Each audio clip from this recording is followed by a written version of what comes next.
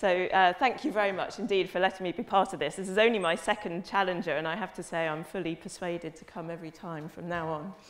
Um, so I want to tell you a little bit about coccolithophores. Um, uh, I, I suspect this is a, a bug that many of you may be aware of.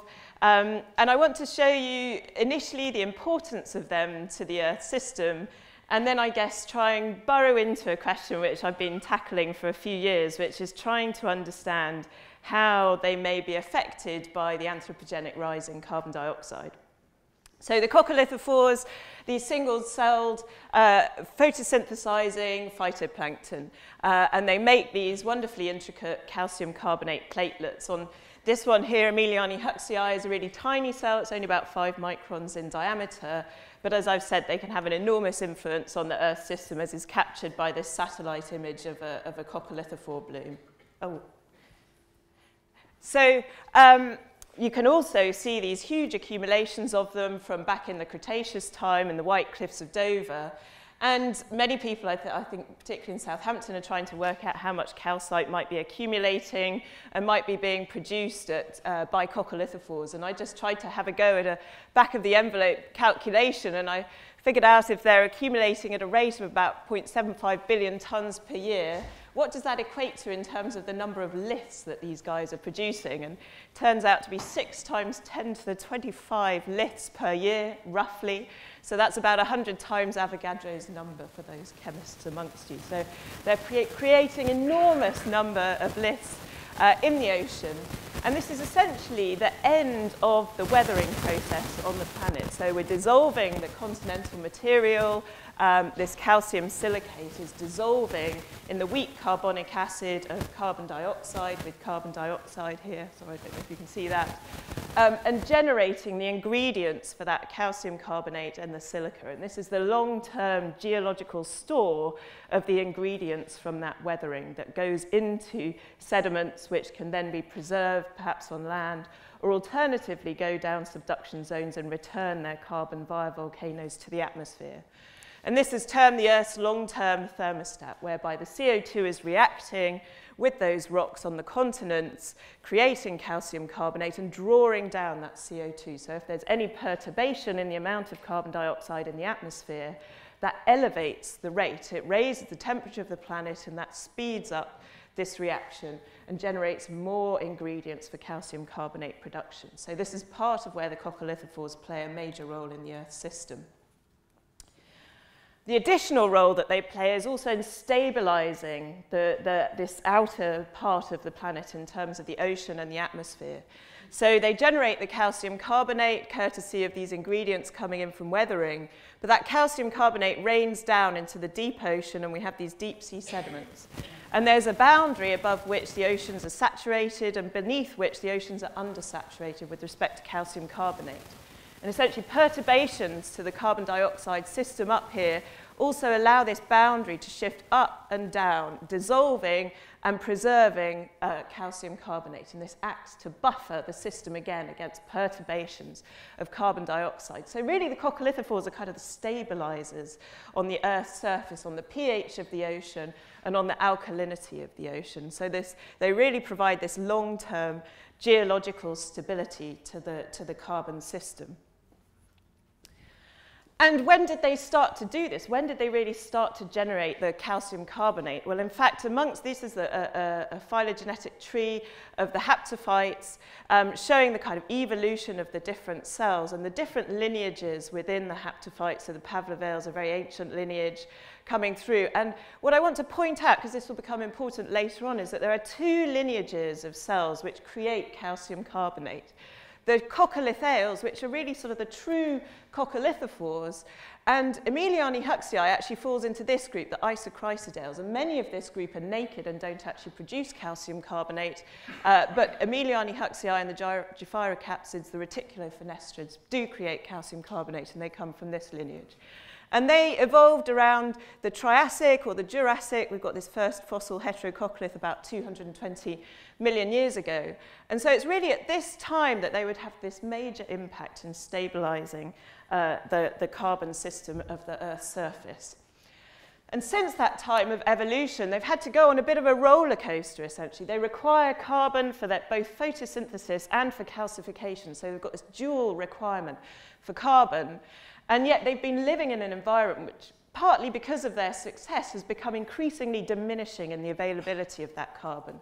So the coccolithophores evolved back here, and they've had to ride through this period of time where the CO2 has plummeted from up around 1,000, maybe even 2,000 ppm back here, to levels around 200, 300 ppm going through these Pleistocene glacial cycles and up to the modern day. So they've gone down this incredible slope of atmospheric carbon dioxide.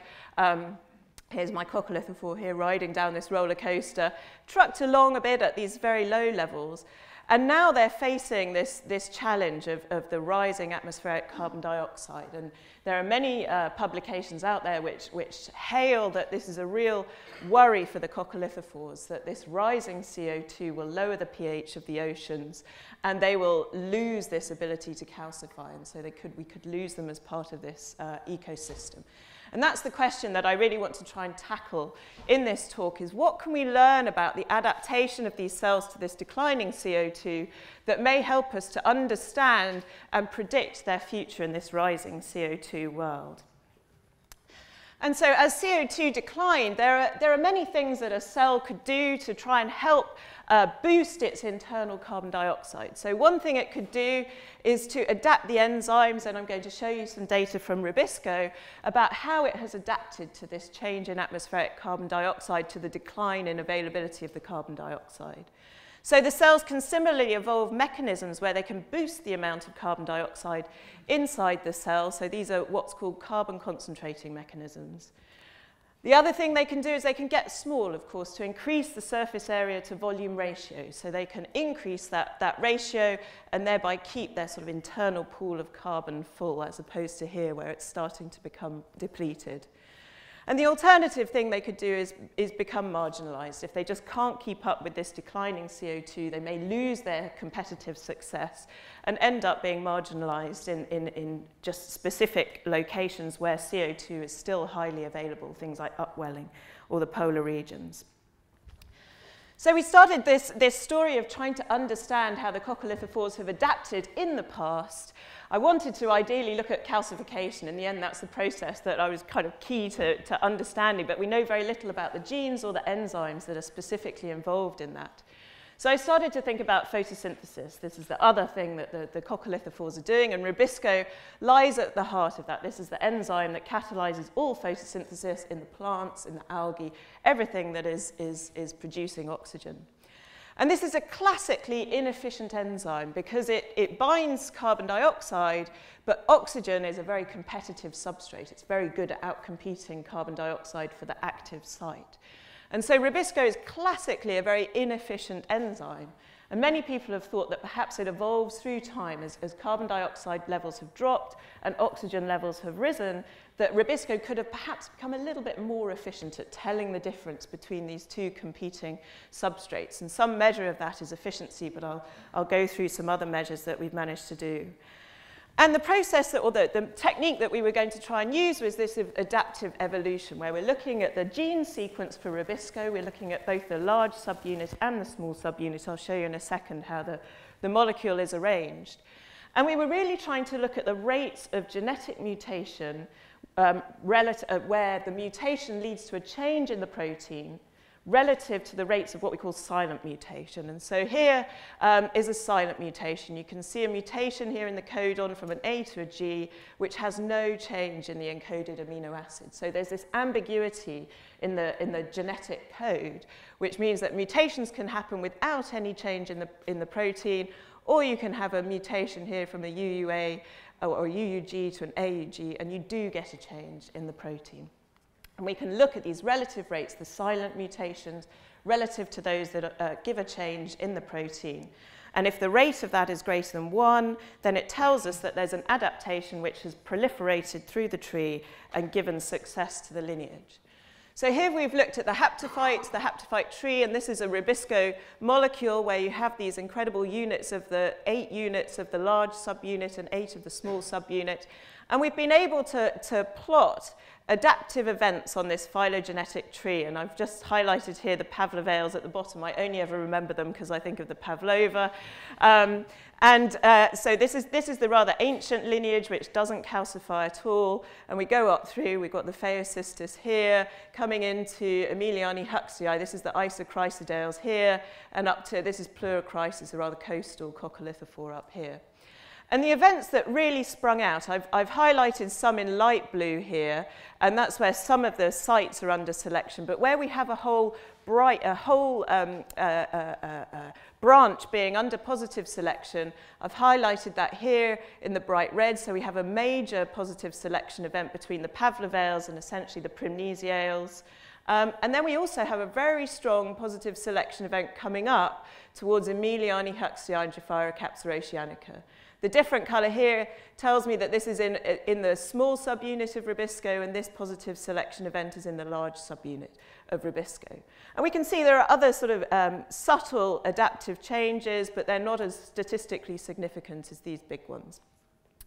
So the question was, well, how is, so that tells us that Rubisco has adapted, but what, how, uh, but, but what's actually happening to the chemistry of that Rubisco? Is it improving in its ability uh, uh, to distinguish between these substrates. And so we, we extracted the Rubisco and tried to measure its Michaelis-Menten kinetics. Now I've got a little, this was something to try and wake you up in, in the morning, a little sort of quiz. Um, we'll see if, if we can get this to work. I don't know how many of you are very familiar with Michaelis-Menten kinetics, but essentially you have a reaction velocity and you have a substrate concentration. And as you increase the substrate concentration, that's for your enzyme, or as I'll show you a bit later, this can be substituted for a cell. As you increase that substrate concentration, the reaction velocity goes up. And that sort of makes, makes sense. You've got more of the stuff you're going to react, so the reaction rate goes up. But then this tends towards some kind of what we call Vmax. That's the maximum turnover rate of the enzyme, where the enzyme is essentially saturated. And when we talk about affinities of enzymes for a substrate, the term that is often used is this Km, and this is the value, this is the concentration of the substrate that's required to get to half of the maximum velocity. And so if you have a, a Km which is low, that actually implies you've got a very high affinity for your substrate. And if you've got a Km which is very high, that implies that you've got a low affinity for your substrate. It requires a lot of that substrate to get anywhere close to your half maximal velocity. So I hope I've explained that. Let's just see. Uh, this is going to date me. I grew up with Bruce Forsyth and uh, Play Your Cards Right, and this was a, a, a, quiz game for those of you who are very young in here, um, where it was extraordinarily exciting. He turned over cards and here you've got a 7, and you had to guess whether the next card was higher or lower than a 7. So, can we translate this to the Km of enzymes? right. the enzyme of cell A has a Km of 10 micromoles per CO2. So you need 10 micromoles of CO2 to get to your half Vmax. Enzyme of cell B has a Km of 50 micromoles per kilogram of CO2. So does enzyme of cell A have a higher or lower affinity for CO2? Who's going to vote for higher? Oh, yes. Okay, very good. I, I, uh, you're very bright, or I at least managed to ex explain it. So wonderful, yes. it was higher. I think there was always rapturous applause in Bruce Forsyth, so I, I, I had to look that up. Right, okay. So let's see if I can get my trail of thought back. That was that's the first time I tried that experiment in a talk. We'll see. Um, so we measured the KMs of the rubiscos from these different cells going across these adaptive events. If you remember, there was a big adaptive event between the Pavlovales and everybody else. And then we had this wonderful adaptive event going towards Emiliania huxleyi and Japhyra and I've essentially just drawn those along the way. So this is almost evolving through time. And so you can see the Pavlovales, this is a, a KC value, which is in the, in the colored bars here. And we've also actually measured the, the KO values, and those are in the dotted bars. So that's the affinity for oxygen, the sort of competitive substrate. And what's interesting is between the Pavlovales and everybody else, we've got that major selection event, we see very little evidence of change in the KC actually, uh, sort of immediately across that event. And the big change happens to be in KO, so we get this big jump in, in the affinity for oxygen, and, and if I was giving a different talk, I would explore that a little bit more. But what's, what's interesting, at least here, is that as we go towards Emiliania huxleyi, we see that the KC is getting very much higher. And so what that means is that the, the Rubisco is getting a lower affinity for carbon dioxide through time. And that's sort of counterintuitive. If you think your substrate is in, diminishing in the environment, this is telling me that my Rubisco is getting less and less good at binding. And this is actually a, a, a, a, sort of curious thing, and what it probably means is that Emiliania huxleyi and Gephyrocapsa are being very good at concentrating carbon around their Rubiscos. They're able to adapt through this decline in the environment to actually boost the amount of carbon dioxide that they've got inside the cell. And as I show you, there are a couple of ways that they're doing that. But the real winner here is the fact that actually there's a trade-off between how strongly you bind to your substrate and how quickly you can turn over in Rubisco. So here in the, in the plants and in the red algae, if you're very good at binding to carbon dioxide, it makes you really slow. But if you've got a lower affinity for the carbon dioxide, you can turn over that much faster. And this seems to be the evolutionary edge that uh, Emiliania huxleyi is really getting. If they're able to concentrate that carbon dioxide, they can turn over that enzyme much faster. And indeed, what we, what we find, I, I won't bore you too much with the details here, but is that across this event, this initial event of adaptation, we see a big change in the actual cellular structure whereby the rubisco is getting packaged into this thing called a pyrenoid, and then there are changes towards immersed pyrenoid. But this is thought to be part of a CCM. It's a compartment where the cells are able to control the chemistry around the rubisco. And we also see the emergence of a particular delta carbonic anhydrase. This is part of a CCM which we see absent in these Pavlovales. So it's clear that through these adaptive events, we've got some kind of CCM evolving where the, the, the cells are more able to concentrate carbon.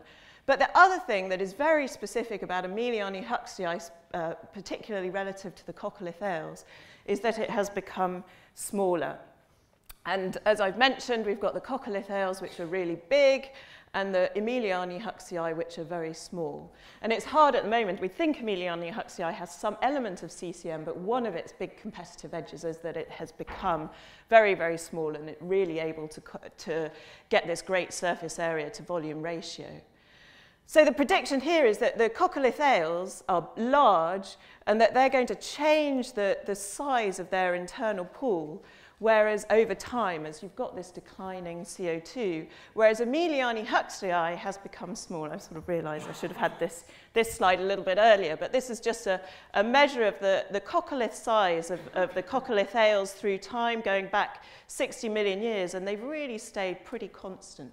So they've been large, they've stayed large, but the, the, payment that they've had to make for that is that their internal pool has become half full or half empty, depending on whether they're optimistic or pessimistic coccolithales. On the, on the flip side of that, the, the Emiliania huxleyi coming out of that Isochrysidale lineage has actually changed its size very much through time. It's really diminished hand in hand, this is looking at a particular part, the Eocene, Oligocene, Miocene, but there are some longer records now which really show this change in the size. And they've diminished over time, and, and indeed, this is kind of part of the reason why it's so hard to do geochemistry on them. So these two lineages have got very different controls on their carbon acquisition. And the coccolithales, in, in a sense, have been left behind by Emiliania huxleyi. We know from looking at their biogeography today they were, the, they were the weed of the ocean back in the, in the Paleogene, but now they're very much marginalized. And this is because they've got this half-full internal pool. They're essentially utilizing the majority of the carbon that they've got available to them, whereas Emiliania huxleyi has got a really full one and it can function very quickly. And this actually plays out rather nicely in the isotopes. I, I, I hesitated as to whether to bring in isotopes to this, but we see this big difference uh, between whether the coccoliths actually preserve equilibrium isotopes are in equilibrium with their environment or have what's called a very big vital effect, which is offset from equilibrium. And what we find is that uh, uh, if you grow different bugs, so this is looking at Coccolithus braarudii, so the large bug versus a smaller one, Gephyrocapsa oceanica, in different amounts of CO2, then you get differential offsets. So the small bug essentially trucks along almost at equilibrium, whereas the large bug is very much offset to light values at low CO2. So those of you who are geochemists, if there are any, uh, in the crowd, this is a wonderful new proxy for being able to uh, look into atmospheric CO2 in the past, looking at the offset in the isotopes between the large coccolithophores and the small coccolithophores. And we've actually been able to, this was something that we found out in culture and through a a wonderful graduate student of mine, Harry McClelland, um, he's uh, been putting this into a model essentially with different compartments where you're driving Rayleigh fractionation in the different compartments both by fixation of organic matter but also by calcification which tends to remove heavy isotopes from that internal pool. And you can sort of figure out through this model for the different species how your isotopic effect will evolve. And we've now got a very nice quantitative model that can explain these culture results of, of changing vital effects with atmospheric CO2. So this was something that was triggered by my PhD work with Harry Elderfield, so it's a, it's a nice moment to remember him. But I felt frustrated at the time of shoehorning proxies into an inorganic box, and I'm sort of really excited with this work that we finally got a way of understanding a proxy at the biological level so that we can, we can re really use it in, into the, the geological record with some, some confidence. Okay, so the coccolithales have been marginalized, they've been unable to boost their carbon in their internal pool, they've stayed at a large size. And so what then is selecting Emiliania huxleyi uh, uh, in the kind of modern environment? And this was something where I was a part of the UK ocean acidification program. And I was very lucky to, to work with Cecilia Balestreri, who um, took part in an enormous number of cruises, going out to different parts of the ocean where she isolated fresh uh, strains of Emiliania huxleyi from locations up here in the Greenland Sea uh, and also down, she was, she was part of a couple of other cruises that went down uh, to the Southern Ocean and we, we have about uh, in fact, I've got about 30 strains, but we've only characterized about 10 of these. To try and understand the selection for the different um, properties of Emiliania huxleyi in the modern ocean. And so what we did was we, I'm afraid we're back, back to our KMs and our, our Vmaxes, but this time for whole cells. I was interested in the photosynthetic capacity of these cells and how they're adapting to the availability of, of carbon in the environment.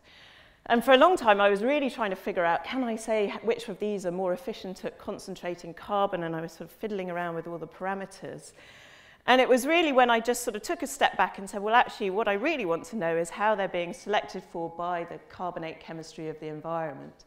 And I plotted them against the, the carbonate chemistry that we had of, uh, in the environment. And that was where I was, I guess, the, the first order result was that we could see in these freshly isolated strains was that they were being selected for by carbon in the environment. They didn't, none of the data made sense in terms of nutrients, in terms of salinity, in terms of uh, uh, uh, uh, phosphate, for example. But the, the, the one factor which seemed to make sense in terms of the physiology that was being selected was that it was, it was clearly matching the availability of aqueous CO2. So we measured photosynthetic, this, this photosynthetic rates. We did this for the, at the whole cell level. So essentially what we're looking for is the affinity of the cells for carbon and then their photosynthetic rate, which we measured at 2,000 uh, millimoles of, of DIC. So we, we, we did that all at the same, uh, the same value, but then we also titrated up to this Vmax to kind of work out what's the maximum photosynthetic potential of these cells. And that was where we got this really nice relationship between this kind of maximum photosynthetic potential of the cells and the aqueous CO2. And I was, I was sort of, I just, I, I'm still not sure I got a full understanding of this. As why, would, why would it be that the potential for a cell is being selected for rather than what it's actually doing in the environment? But this was really the sort of strongest uh, signal that, that, um, that we had. And I'll just show you the, the individual, the individual curves.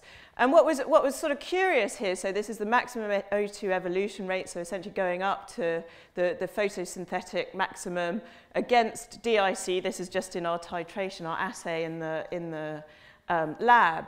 And we have a couple of species or a couple of strains here, and these, these in fact, interestingly, were ones that have been in the lab for a while.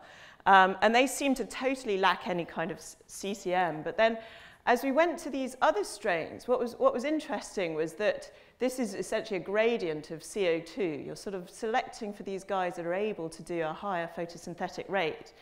And I guess what's, what suddenly struck me was that this is reminiscent of what's happening to Rubisco, that actually there's this relationship between the K half again, so low, high affinity, low affinity, and this maximum turnover rate, or the sort of flux of carbon that can go through these cells. And so at the cellular level, you've also apparently got this trade-off, so that at higher carbon dioxide, you're selecting for cells that have got a lower affinity for carbon, so they're not as good at concentrating carbon, but they can turn that carbon over much more quickly. They're able to sort of flow through that carbon. And I guess this was something I was quite surprised about. I guess I'd, I'd expected to see that they'd all have about the same P max. And there would be some which were better at concentrating carbon and they would live at low carbon levels and others would live at high carbon levels where they were less good at concentrating carbon. But it really seems to be that if you release if you release the pressure on that limiting carbon dioxide, you get these cells which can really chunk through carbon and, and turn it over quickly. And actually, when you think about it, that makes total sense with this selection for Rubisco. If you've got a Rubisco that needs a high flux rate, you've got to have a high flux rate coming through the cell to match that. And so it, it seems that both at the enzyme level and at the cellular level, you're, you're trending to this low affinity, high flux uh, uh, turnover. And interestingly, this was a result that was, was also found looking at um, both laboratory and field work experiments on the selection of of uh, cyanobacteria, they also found this trade-off between low uh, affinity and high flux and a tendency to that under high CO2. So in case anybody is asleep at this time, I thought it was, might be time for a little movie. I suspect many of you have seen this. This is wonderful work to come out of Alison Taylor and Colin Brownlee's work. And I, everything I've told you about so far has been about photosynthesis. But of course, the question that I really want to answer is about calcification. Um, and so this is how these coccolithophores calcify. If none of you have seen this, uh, uh, then I just think it's, again, I, we, we saw something yesterday with Trichodesmium eating dust, but I, I still think this is one of the most amazing things. So this is Coccolithus pelagicus, making its calcite totally intracellularly here. You can see this lith starting to form. It whirs around and around. It kind of fills towards the diameter of, of the cell. And then once it's completed, it pops out onto the surface in an extraordinary way. Whoop, there it goes. I tell you, the fact that they do that every hour, I've given birth a couple of times in the last five years, and I wouldn't want to do that. so, so, yeah, okay. Um, there we are. So, calcification, what is happening to the calcification? And, and uh, we, we've looked at this a little bit with the, these modern day strains that we've separated from uh, uh, around the ocean. And my prediction going into this, I guess, when I, I thought about the calcification, really came out of this is Ulf Riebesell's work back in 2000, where he found that if you raise the CO2, your calcification rate to your organic carbon fixation, your photosynthesis declines with increasing CO2. So that was my, what I was expecting to find in these strains. I thought, okay, if I've got different CO2s, I'm going to see this decline in the calcification rate. I couldn't have been more wrong. Here we've measured the calcification rate and plotted it against the Pmax, and there's this incredible correlation with the calcification rate increasing in these high flux cells. So it seems to increase at the same time as the, the photosynthetic potential is increasing. So it's, it seems that the, the small cells are essentially photosynthesizing slower, they're calcifying slower, and as you increase the CO2 availability, the, the whole flux through that cell increases and you can photosynthesize more and you can calcify more. How are they doing it? And uh, we've got as far as um, extracting uh, the molecules that are actually mediating the calcification in, in the coccolithophores. So this is uh, uh, the coccolith polysaccharide. This is uh, old work now that was back in 1986, um, where we've characterized, this is the, the mediation of the calcification inside that coccolith vesicle, takes place via this polysaccharide, and the really active part of that is the uronic acid part, where you've got this carboxylate uh, ligand which can bind uh, to, to calcium and really helps the, the calcium carbonate to, to grow. This has a, a curious role because it both has to promote calcification and it also has to limit calcification so the whole cell doesn't take off. But by the by. So our prediction is that we, what we were curious to see was how does this uronic acid content of the molecules change with these different Emiliania huxleyi strains. And what we were able to find is that Actually, the uronic acid content, so this is looking at the amount of that carboxylic acid in the polysaccharide, correlates with our size of the internal carbon pool. So the more carbon that you've got inside the internal pool, the higher the uronic acid content, the more polar the molecule.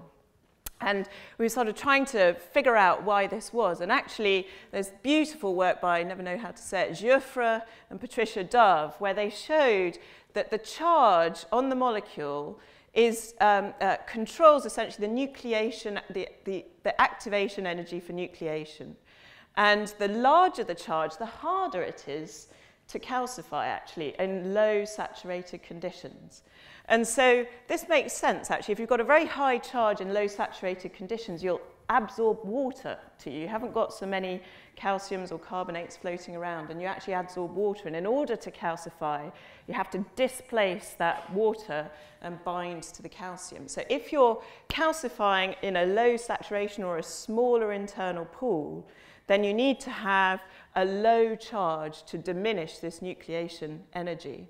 But if you get more and more carbon as you go up and increase the saturation, then it's actually beneficial to have a higher charge on that particle, particularly in higher saturation, because then you've got enough calcium and carbonate around that the out competition is happening in the solution, and those ions then adsorb onto the uronic acid quickly. So this is, I, I thought this was really curious, and it actually gives us an insight as to the adaptation of the Emiliania huxleyi to maintain a high calcification rate, both at low carbon avail availability, but also to really keep it going at very high carbon availability when you've got a higher internal carbon pool. And so this uronic acid is really, a, it, it's a way that these coccolithophores have adapted to the availability of carbon. And if I just indulge myself for a moment and go back to the coccolithales, those really large uh, species, we've been able to extract the acidic polysaccharide from liths of that species back through 100 million years, and this is marked out in these white blobs here in the squares, this is actually getting